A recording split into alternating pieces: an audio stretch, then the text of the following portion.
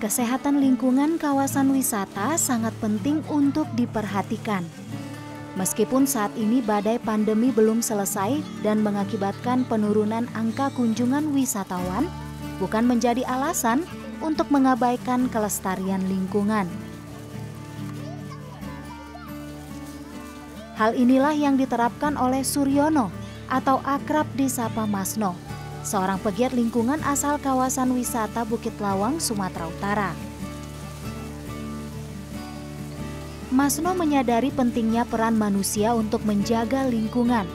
Sejak empat tahun terakhir, Masno gencar mengampanyekan gerakan cinta lingkungan.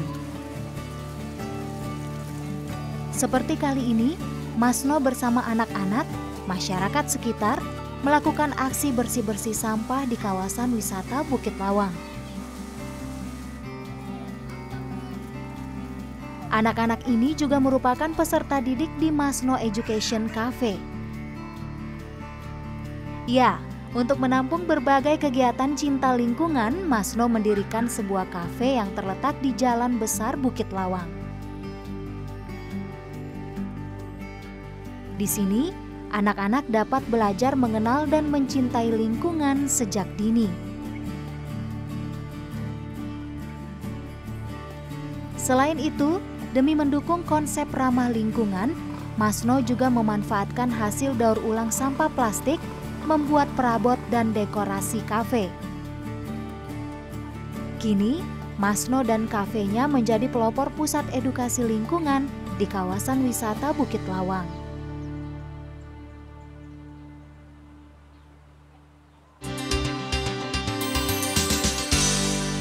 Pemirsa menjadi sosok yang peduli dengan pendidikan dan juga lingkungan tentu tidak mudah, seperti yang dialami oleh narasumber pada episode Selasar Budi kali ini. Dari kawasan wisata Bukit Lawang, Kecamatan Bahorok, Sumatera Utara, ia menebarkan semangat belajar dan juga cinta lingkungan yang terpusat di sebuah kafe miliknya untuk anak-anak dan juga masyarakat sekitar. Langsung saja kita sapa bersama ya pemirsa. Assalamualaikum Pak Suryono atau yang akrab disapa dengan Om Masno. Saya panggil Om Masno aja biar ya. lebih akrab. Apa kabar? Salam, uh, eh, kabar baik. Kabar baik ya Om ya. Baik Om. Uh, sebelum kita ngobrol lebih jauh tentang kiprahnya Om di dunia pelestarian lingkungan, ada yang spesial nih pemirsa karena saat ini saya berada di uh, duduk di atas sofa yang sangat berharga nilainya sangat berharga ini sofa yang terbuat dari ecobrick ini juga mejanya juga dari Ecobrik ya Om Masno. Apakah ini kreasinya Om Masno sendiri? Iya benar, kreasi saya sendiri membuat uh, Ecobrik dari uh, untuk kursi dan meja. Iya untuk furniture seperti ini juga ya Om ya? Iya. Nah, ini terbuat dari apa nih Om? Dari botol aja ini, botol oh, bekas gitu okay. kan. Uh, kemudian dikasih warna gitu ya, dikasih ya Om warna. ya hingga berbentuk nah, seperti apel dan ini tapi dari... kalau ini tidak warna nah, memang uh, botol bekasnya warna hijau oh, kita manfaatin gitu. dari botol minuman yang warnanya hijau nah, wah ini ibu-ibu rumah tangga nih di masa pandemi seperti ini penghematan untuk uh, apa namanya anggaran iya. untuk beli furniture tapi ini bisa buat sendiri luar biasa. Nah ini uh, kita berada di kafenya Om Masno ini penuh dengan suasana yang green begitu ya. Ramah lingkungan ada recycle gallery tadi. Kemudian ini sofa yang kita duduki adalah eco brick. Nah ini yang mendesain uh, memang dirancang uh, oleh Om Masno dan juga uh, beberapa teman atau keluarga atau bagaimana? Ya, ini saya desain saya sendiri dengan anak saya. Uh, anak saya juga uh, mendesain untuk selalu kadang-kadang diskusi ya harus seperti ini harus seperti ini tapi memang basicnya arahnya harus ke lingkungan. Oh itu itu terinspirasi dari mana sih om? Apakah ada melihat orang yang dari ber... hati. Dari pikir hati. seperti itu ya uh, karena uh, kenapa ya kita sebagai saya ya sebagai muslim juga uh, banyak seperti sabda-sabda nabi itu mencintai tanah air sebagai uh, bagian dari iman kebersihan uh, sebagian dari iman. Sebagian nah, dari... Sebelum kita diciptakan kan bumi dulu ya. yang diciptakan gitu. Oleh karena itu ya pastinya setelah bumi diciptakan kita diciptakan untuk menjaga bumi. Ya, itu kuatnya ya. di situ. Baik, yang penting tadi dari hati niatnya memang untuk uh, menjaga bumi begitu ya. Om Masno, sudah berapa lama kafe ini berdiri? Uh, kafe ini berdiri dari 2005 ya. Cuman kalau untuk uh, waktu 2005 itu sampai 2014 kita memang fokus di makanan organiknya. Nah, dan 2014 sampai sekarang itu akhirnya saya kembangkan untuk pendidikannya, untuk daur ulangnya dan untuk yang mengarah ke lingkungan gitu. Akhirnya memang saya kembangkan uh, bukan untuk saya pribadi tapi untuk masyarakat di sini semuanya bisa melakukannya. Jadi awal mendirikan kafe ini niat untuk mendirikan kafe ini memang orientasinya bukan untuk profit semata, tapi uh, memang bukan. untuk pelestarian lingkungan. Pelestarian lingkungan gitu. Karena sebelum buka kafe ini saya sudah bekerja ya gitu. Jadi uh, karena memang jiwanya itu ke lingkungan akhirnya uh, saya bekerja itu ya mau membuat usaha itu memang arahnya ke lingkungan itu aja sebelum saya uh, resign dari pekerjaan dulu. Ternyata latar belakang Om Masno ini adalah seorang chef loh pemirsa. Wah, kenapa resign gitu? Kenapa ditinggal gitu? Bukannya hobinya masak juga? Bukannya itu passionnya juga menjadi seorang chef? Ya, Ya, salah satunya uh, chef itu sebagai profil saya untuk mencari mata pencarian saya ya, untuk saya dan keluarga. Uh, ya, saya berpikir kalau kita bekerja saja itu rasanya kurang berkembang gitu loh. Uh, untuk diri kita sendiri itu masih ada batas-batas gitu. Tapi kalau sudah kita membuat sendiri kan itu rasanya wah gitu. Apa pun kita lakukan uh, asal itu memang positif memang arahnya ke lingkungan itu aja. Jadi itu saya lebih termotivasi oleh karena itu saya sampai 14 tahun di sana. Wah 14 tahun bekerja menjadi chef tapi memang dasar uh, pencinta lingkungan jadi chemistry-nya kuat sekali. Uh, tarik menarik magnetnya juga menarik yang sama nih yaitu sama-sama satu misi gitu ya, pelestarian ya, lingkungan. Misi. Nah berbicara tentang kafe nih, kafenya Masno ini, uh, saya mendapat informasi bahwa di sini Om Masno juga lebih uh, mengutamakan menu vegetarian. Gitu. Ya benar. Kenapa Om? Uh, menu vegetarian itu selain kayak uh, selain dia number one untuk kesehatan juga itu kan mudah gitu. Bisa ditanam di mana aja mau di pekarangan sempit mau di ada yang sekarang modelnya hidroponik ya gitu tanaman hidroponik uh, dengan uh, organiknya. Ya seperti ya nanti kita di belakang akan lihat bagaimana uh, tempat hiasan-hiasan yang akhirnya jadi uh, kebun sayur. Ekobrik ini ya. Ekobrik. Ini. Baik, ternyata di kafe ini juga Om Masno menanam sendiri sayurannya. Ya, benar benar. Nah. Jadi nanam sendiri, uh, terus buat pupuknya sendiri juga. Iya. Pupuknya pakai apa tuh? Pupuk, kompos. Komposnya buat sendiri juga. sendiri. Gitu. Nah, ini menarik nih pemirsa, uh, pelanggan juga boleh metik karena kan ini kan edukasi nggak cuman mau mencicipi makanan apa yang tersaji di kafe tapi juga ikut. Ini adalah nilai edukasinya di situ. Jadi pelanggan juga boleh memetik. Ya salah satunya konsep di kafe ini kan untuk datang itu mereka tidak hanya menikmati makan enak gitu tapi mereka itu harus enak dan berkesan jadi salah satunya kita fleksibel boleh. Misalnya uh, aku mau masak uh, mau makan tapi masak sendiri, mau petik oh. sendiri gitu. Ya kita buat mereka itu lebih senang, lebih lebih pokoknya lebih enjoy lah gitu. Karena kalau dia datang duduk makan gitu kadang-kadang ada uh, ada bosennya juga ya dan di mana-mana kan seperti itu gitu. Jadi aku berpikir ya kasih pendidikannya gitu untuk mereka berkesan ya mungkin nanti bisa dia buat di rumah juga seperti itu. Oh Mas No, kalau pengunjung kafe ataupun wisatawan boleh memetik sendiri sayur di kebun organik kemudian icip-icip, saya juga boleh dong ya? Ya boleh sekali. Dan lebih spesial lagi ditemanin sama ownernya nih. Oke, okay. ya baik pemirsa, saya dan Om Masno akan berkeliling kebun organik untuk memetik sayur sehatnya. Bagi Anda silahkan menyaksikan tayangan berikut ini. Ayo Om, kita ke kebun organik.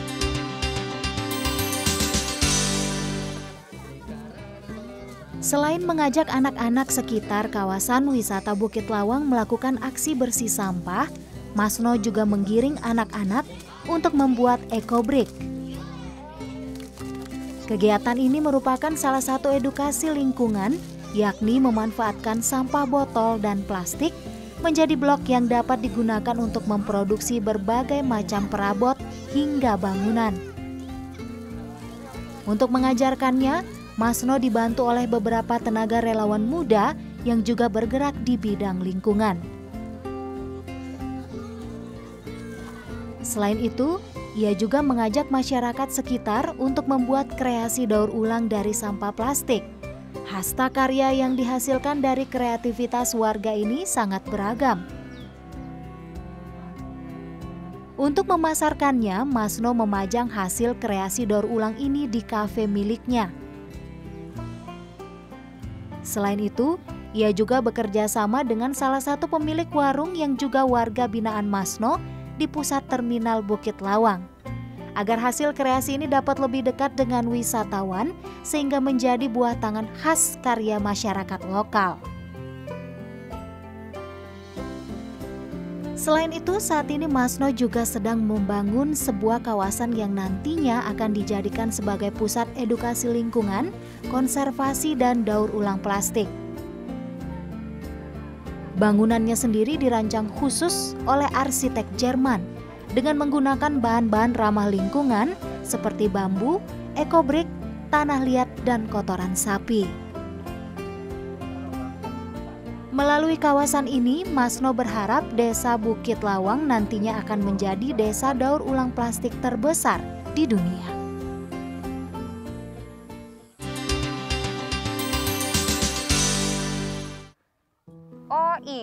Kebun organiknya Om. Iya. Ada ini, berapa eh, jenis sayur-sayuran yang ditanam?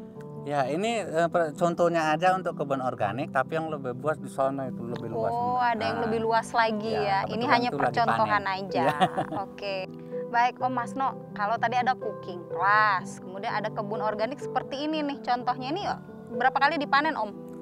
Dipanen dalam setiap 30 hari. 30 hari sayurnya gratis dan ini memanfaatkan halaman belakang kafe. Iya, benar. Ada kegiatan apa lagi di kafe ini, Om? Ya, selain di kafe ini ada kegiatan Green Class, yaitu salah satunya pendidikan lingkungan, pendidikan daur ulang, uh, juga pendidikan untuk atau aksi bersih ya yang sudah dilakukan tadi seperti ada Green Class itu yang disampaikan apa-apa aja? Om? Uh, Green Class uh, yang disampaikan pendidikan tentang lingkungan. Ya, jadi kita belajarnya itu memang khusus untuk lingkungan. Mendidik anak-anak untuk cinta lingkungan sebenarnya gampang atau gimana Om? Gampang-gampang susah atau gimana?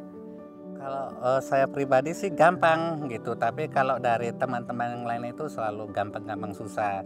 Uh, yang penting untuk anak-anak itu bagaimana kita bisa merangkulnya saja gitu. Kalau kita mau e, merangkul anak-anak, ya kita sendiri menjadi anak-anak gitu. Jadi mereka tidak bosan dengan kita. Ya, dan yang penting metodenya harus juga menarik gitu ya, Om ya. Ada juga kelas bahasa Inggris ya Om? Ya kelas bahasa Inggris juga itu salah satunya harus ditekankan karena memang untuk bahasa Inggris sangat perlu uh, di sini apalagi di Bukit Lawang ya banyak wisatawan dari mancanegara gitu. Iya, karena ini daerah wisata jadi anak-anak juga harus uh, mengerti bahasa Inggris begitu ya Om ya. Om Masno juga dibantu oleh anaknya Om Masno yang juga pecinta lingkungan, punya karakter ramah lingkungan juga ya? Iya, sama. Mungkin karena orang tua bapaknya ya, uh, pencinta lingkungan ya anaknya harus ditanamkan juga. Lah. Jadi nurun gitu ya Om ya. Apa saja yang uh, kontribusinya Om? Apakah desain atau apa? Kontribusinya salah satunya anak saya itu mengajar untuk bahasa Inggris dan perlunya kalau misalnya ada pengunjung tamu datang di sini khususnya tamu mancanegara uh, dialah yang transit untuk bahasa Inggrisnya yang lebih uh, bagus dan bahasa Jerman. Oh, bahasa Jermannya juga bisa. Wah, mantap. Oke, Om Masno, sebelum kita lanjut lagi ke segmen berikutnya, saya mau cobain ini. Ngomong-ngomong ini Om, sayur organik, namanya juga kebun organik ya. Ini pakai pupuk apa nih Om? Oh, saya ini pupuk kompos, nih, itu salah satunya kita pakai ya kan uh, pupuk kompos itu ada kita buat sendiri masih skala kecil ada di sono itu mbak di di yang, yang sebelah sana iya lahan yang besar iya. juga kita memanfaatkan uh, pupuk kandang dari masyarakat oke om yang menarik juga ini nih om saya ingin tahu cara buatnya bagaimana. Oh, hmm, pasti. Supaya saya jual ke Om Masno. kita ke sana ya. ya? Oke, kita ke sana untuk ini. Tempatnya ya Om Masno ya? Ya inilah Mbak tempatnya untuk Lagi buat ekobrik dan ya. ini namanya Green Class. Green Class. Ya. Oke, setiap hari apa aja Om? Setiap hari Selasa, Kamis, dan Sabtu. Om Masno ini anak-anak sekarang sedang membuat ekobrik. Mm -hmm. yeah. Tapi kok yang mendominasi memang anak-anak ya saya lihat dari tadi. Apa orang tua nggak mau ikut buat ekobrik ini kurang tertarik atau bagaimana?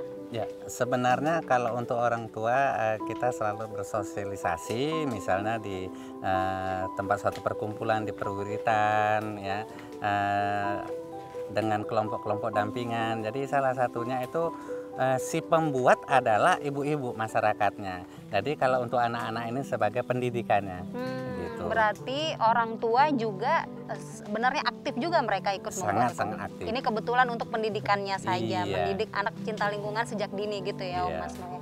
Nah, langkah-langkah membuat ekobrik ini sebenarnya sederhana sekali ya, Om Mas No. Sangat sangat sederhana gitu. Jadi uh, boleh saya jelaskan silakan, untuk ini silakan. gitu. Jadi sebelum langkah-langkah membuat ekobrik itu sebenarnya apa sih ekobrik itu kan gitu. Jadi sebenarnya ekobrik adalah uh, pengganti batu bata yang ramah lingkungan. Jadi langkah pertama adalah botol bekas yang kita pakai dan itu botolnya harus kering. Uh, kalaupun kotor kita cuci dulu, baru kita jemur sampai kering dan untuk sampahnya itu sampah aja, apa aja bisa ya sampah apa aja bisa yang penting sampah plastik iya berarti ini semua sampah-sampah ataupun botol mineralnya ini untuk bahan membuat ekobrik ini yang didapat dari sekitar sini? Iya salah satunya. Akhirnya kita kan ketemu dengan Project Wing ya. Project Wing itu salah satu NGO yang ada di Jerman Mbak nah, jadi mereka itu sangat antusias, sangat interest dengan kegiatan pendidikan di sini, uh, terutama tentang sampah plastik, ya. Dan akhirnya mereka uh, mengajak saya untuk bekerja sama bagaimana untuk mengatasi sampah plastik yang ada di Bukit Lawang dan sekitarnya untuk Kecamatan Bohorok. Uh, jadi salah satunya terbuatlah ekobrik ini dan ekobrik itu uh, dibuat oleh masyarakat dan itu kita uh, hargai dengan harga Rp5.000 setiap uh, botol kemasan yang besar tadi dengan ukuran itu 500 gram. Oh, berarti satu botol yang seperti itu ya, ya Om ya? Seperti ini. Oke. Okay. Ya. Ini dihargai ini dengan 5.000 Om? 5.000. Oh. Nah berarti ya cukup berharga berarti ya e, masyarakat pasti tertarik jadinya. Ah, sangat tertarik oleh karena itu tadi kan e, Mbak mengatakan ada nggak sih e, penolakan dari masyarakat lah ini malah sambutan Mbak gitu. Ah, jadi setiap penjualan mereka itu bisa menjual 100 atau 200 ekobrik dikalikan 5000 wow Iya, iya. Makanya alhamdulillah tidak ada penolakan yang tidak ada, ada sambutannya penolakan. sangat baik. Nah. Om Masno kita jeda dulu nanti masih ada segmen berikutnya. Pemirsa, apa komentar warga tentang kiprah yang dilakukan oleh narasumber kita yaitu Masno lewat Masno Education Center? Kita dengarkan dalam tayangan berikut ini. Nah, kalau tanggapan saya ya baik ya bagus karena ini salah satu program dari KP Masnunya ramah lingkungan ya, peduli lingkungan ya kan. Kita tahu sama-sama tahu bagaimana efeknya ke depan tentang sampah, khususnya plastik ya kan. Jadi kalau tanggapan saya, saya mendukung penuh lah ini program ini, baik sekali. Uh, tujuannya di sini uh, saya ingin juga selain membantu orang tua, juga ingin memberikan hal-hal positif kepada anak-anak muda dan juga generasi mendatang tentang bagaimana pentingnya uh, lingkungan untuk uh, diri kita dan juga masa depan anak-anak nanti di kemudian hari seperti itu. Ya tanggapan saya bagus uh, karena selain banyak kegiatan uh, kami juga merasa terbantu dengan adanya ekobrik. Uh, tambah lagi ada kerajinan tangan, ada kegiatan-kegiatan mm, bersih-bersih, apa segala macam. Ya baguslah. Wah, ini hasil panen ya Om ya. Makasih Bang. Ini semua sayur organik, sayur sehat. Nah, nanti kita cicip-cicipin. Om Masno, dengan begitu banyak kegiatan sosial yang Om Masno sudah lakukan, apalagi nih yang belum Om Masno lakukan dan akan wujudkan dalam waktu dekat? Yang belum dan saya wujudkan untuk waktu dekat ini sebenarnya sangat simpel mengumpulkan kembali anak-anak untuk belajar bersama karena saat ini kan masih pandemik ya walaupun udah katanya nggak lockdown tapi kita masih tetap punya batasan-batasan itu aja. Hmm, berarti kalau dibandingkan dengan sebelumnya lebih ramai yang dulu? Uh, ada 160 anak gitu. Jadi kalau sekarang itu paling bisa kita buat 10 atau 20 dan itu tidak dilakukan setiap minggu uh, hanya satu bulan sekali sebagai rasa temu kangen aja gitu dengan anak-anak waktu dengan 15 sampai 30 menit saja setelah itu pulang. Nah, ke depan harapan Om Masno sendiri apa? Kan kita nggak tahu nih kapan pandemi ini berakhir. Ya, harapan saya selalu ber, berdoa dan berusaha untuk pandemik ini berakhir dan untuk ke depannya uh, kita lebih lagi bersemangat melakukan aktivitas-aktivitas untuk lingkungan dari mulai anak-anak sampai orang-orang yang ada di sekitar sini bahkan untuk seluruh ya kecamatan Borok khususnya dan umumnya untuk ya Indonesia kalau saya pikir seperti itu ya. Iya, Om Masno jika terlalu jauh nih atau masih karena nggak bisa ke mana-mana ya di, di, di situasi pandemi seperti ini mau intip-intip media sosialnya silahkan monggo di dikampanyekan. Nah, kalau pemirsa atau teman-teman ingin ke Education Cafe ya itu salah satunya datang aja uh, di Masno Education Cafe yang beralamatkan di Jalan uh, Besar Bukit Lawang, Gang Klinik Ogan, Timbang Jaya, gotong royong yaitu Bukit Lawang. Ya kalau untuk medianya eh, kontak saya di uh, Suryono Masno uh, at gmail.com kalau Facebook saya Suryono Masno juga IG-nya juga Suryono Masno. Oke, berarti nanti kita langsung berteman setelah ini. Oh, boleh, ya sangat mau. Om Masno, terima kasih banyak Sama-sama. sudah uh, menyambut kedatangan kami okay. di sini. Uh, ada ilmu baru yang kami temukan yaitu tentang ekobrik yang bernilai ekonomis dan ini bisa jadi salah satu penghasilan di masa pandemi. Sukses selalu. Amin. Semoga Allah memberkahi apa Amin. yang Om Masno lakukan. Amin. Pemirsa, sebagai khalifah di bumi, kita punya kewajiban untuk melestarikan lingkungan. Dari kawasan wisata Bukit Lawang, Kecamatan Bahorok, Sumatera Utara, kami sebarkan kebaikan untuk sesama dan juga bumi tempat kita berpijak. Mari jadikan diri kita bermanfaat bagi orang lain. Pemirsa, jangan lupa jaga kesehatan Anda dengan tetap menerapkan protokol kesehatan COVID-19. Saya Rahma Mandasari pamit, sampai jumpa.